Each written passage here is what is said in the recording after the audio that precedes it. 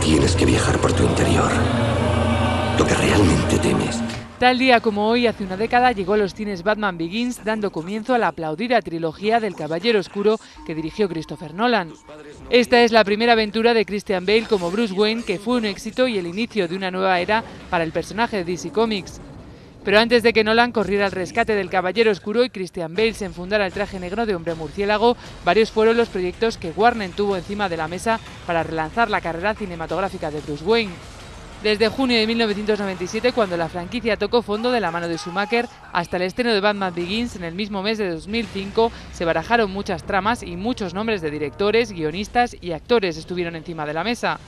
Frank Miller o Darren Aronofsky fueron algunos de los cineastas que sonaron con fuerza hasta el 2003, cuando el estudio finalmente se decidió por la versión de Nolan.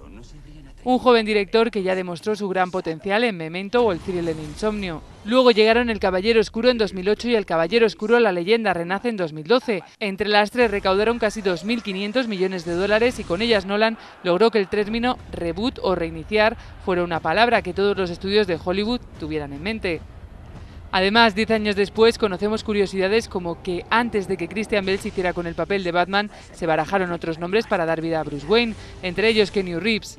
En cuanto a los candidatos a dar vida a Espantapájaros, se tuvieron en cuenta varias posibilidades, entre ellas Marilyn Manson, Iwan McGregor o Christopher Eccleston. Pero también conocemos que el Batmóvil que luce Bale a lo largo de la trilogía es una mezcla de Lamborghini y un tanque, o que Christian Bale se planteó abandonar el proyecto porque el casco era tan pesado que le producía dolor de cabeza y el traje le parecía claustrofóbico.